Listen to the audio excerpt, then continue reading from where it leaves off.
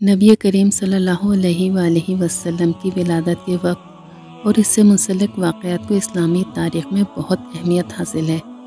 यहाँ कुछ ख़ास वाक़ ज़िक्र किए जा रहे हैं, जो आप सल्लल्लाहु अलैहि वसल्लम की विलादत के वक्त और इसके फ़ौर बाद पेश आए। विलादत की तारीख़ और मुकाम। हज़रत मोहम्मद सल्लल्लाहु अलैहि वसल्लम की विलादत 12 रबी को आमुल फ़ील पाँच सौ सत्तर ईस्वी में मक्का मुकर्रमा में हुई। आप सल्लल्लाहु अलैहि वसल्लम का ताल्लुक़ कबील कुरैश से था और आप सल्लल्लाहु अलैहि वसल्लम हज़रत अब्दुल्ला रज़ी अल्लाह ताला अन्हो और हज़रत आमना रज़ी अल्लाह ताला अन्हो के बेटे थे। आमुल फ़ील का वाक़ नबी करीम सल्लल्लाहु अलैहि वसल्लम की विलादत से पहले एक बड़ा वाक़ हुआ, जिसे आमुल फ़ील कहा जाता है। यमन का हुक्मरान अब्राहा हाथियों के लश्कर के साथ खाने काबा को तबाह करने के इरादे से आया था। लेकिन अल्लाह ताला ने अबीलों के ज़रिए उस लश्कर को तबाह कर दिया। इस वाक़े को कुरान मजीद की सूरतुल फील में ज़िक्र किया गया है। ये वाक़ आप सल्लल्लाहु अलैहि वसल्लम की विलादत से एक साल कबल पेश आया और इससे अरब के लोग खाने काबा की हरमत और अजमत से मज़ीद वाकिफ़ हो गए। हज़रत आमना का ख्वाब हज़रत आमना रज़ी अल्लाह ने आपकी विलादत से पहले ख्वाब देखा था कि एक नूर उनसे निकलकर पूरी दुनिया को रोशन कर रहा है। इस ख्वाब की ताबीर ये थी कि आप सल्लल्लाहु अलैहि वसल्लम दुनिया को हिदायत और रोशनी का रास्ता दिखाएँगे। नूर का सहूर रिवायत के मुताबिक जब नबी करीम सल्लल्लाहु अलैहि वसल्लम पैदा हुए तो आप सल्लल्लाहु अलैहि वसल्लम की विलादत के वक्त एक नूर ज़ाहिर हुआ। जो शाम के महलात तक जा पहुँचा। ये नूर इस बात की अलामत था कि नबी करीम सल्लल्लाहु अलैहि वसल्लम दुनिया में हिदायत का पैगाम लेकर आए हैं। वाक़ शेख सदर। आप सल्लल्लाहु अलैहि वसल्लम की इब्तदाई उम्र में फरिश्ते हज़रत जब्राईल ने आप सल्लल्लाहु अलैहि वसल्लम का सीना चाक किया। आप सल्लल्लाहु अलैहि वसल्लम का दिल निकाला और इसे आब जमजम से धोया। इस वाक़े को शेख सदर कहा जाता है।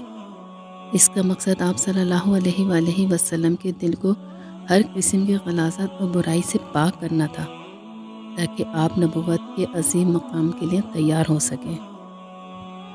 हज़रत हलीमा सादिया का वाक़ नबी करीम सल्लल्लाहु अलैहि वसल्लम को बचपन में दूध पिलाने के लिए देहात की तरफ़ भेजा गया। जहाँ हज़रत हलीमा सादिया रसी अल्लाह ताला ने आप सल्लल्लाहु अलैहि की परवरिश की। इनकी आमद के बाद हज़रत हलीमा के घर में बरकतें नाजिल हुईं। उनका घराना खुशहाल हो गया और उनकी ज़मीनें सरसब्ज होने लगी।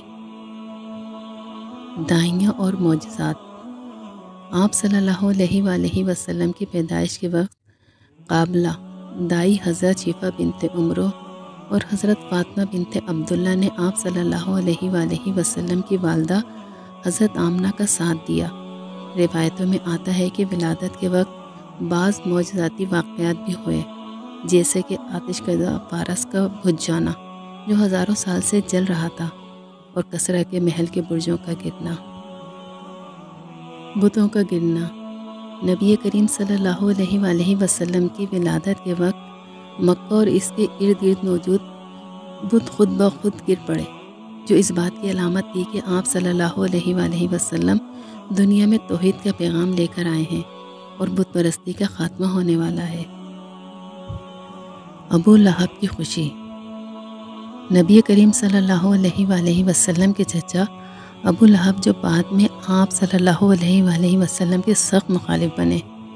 विलादत के वक्त खुश हुए और अपनी लोंडी सोबिया को आप सल्लल्लाहु अलैहि वसल्लम की विलादत की खुशखबरी सुनाने पर आज़ाद कर दिया। इसीलिए कहा जाता है कि अबू लहब को असाब में कुछ तकफीफ मिलती है।